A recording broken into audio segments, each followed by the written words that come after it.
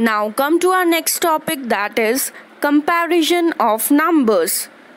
We have learned the comparison of four digit numbers in class 3. Now let's compare bigger numbers.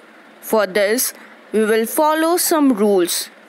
The rule number 1 is the number with more digits is greater. For example, we have 47 lakh 28,123 and 4 lakh 72,823. In the first number we have 7 digits and the second number carries 6 digits only. So 7 digit number is greater than the 6 digit number. That's why 47 lakh 28,123 is greater than 4 lakh 72,823. Rule number 2.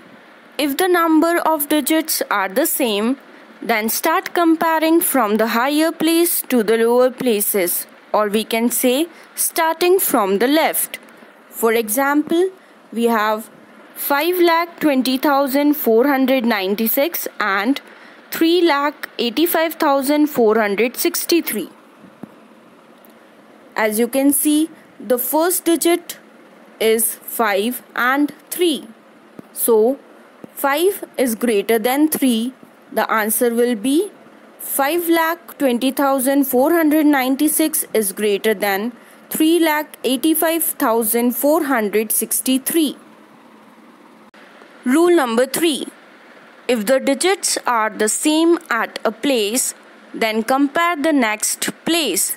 For example, we have 8,25,960 and 8,27,521.